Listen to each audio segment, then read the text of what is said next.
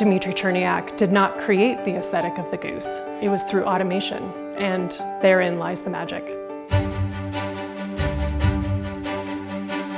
The primary focus of Dmitri Cherniak's practice is the automation of visual outputs. Dmitri studied computer science and physiology. This is where he began making art with algorithms and code. One of the most fascinating things I find about Dimitri's art practice has always been his vision of the entire algorithm's output as the artwork. Ringers is part of Dimitri's practice and this theme that he's been studying for a few years now. But it was really inspired by Armin Hofmann and this idea of how many ways can you wrap a string around a set of pegs.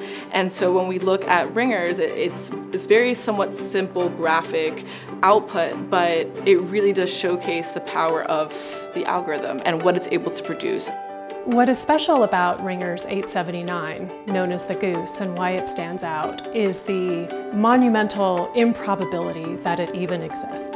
In generative art, the artist dictates the relative probability of any particular attribute appearing in an artwork, but the artist is only dictating the probability, not the actual number of times a particular attribute appears. And so it became really recognized as uh, the symbol of how the machine can actually take a very important role in the creation process and create something that is really unique and that maybe could have not happened if it was without the implication of the randomization of it.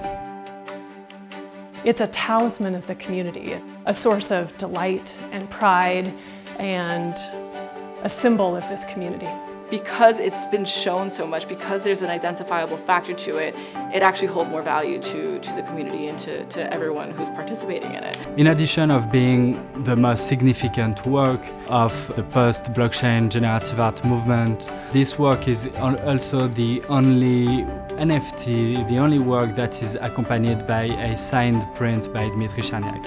Now that this goose is coming up in the market, it won't be back anytime soon. So this is the only unique opportunity for a collector to take his chance and acquire the most significant pieces of the post-blockchain generative art.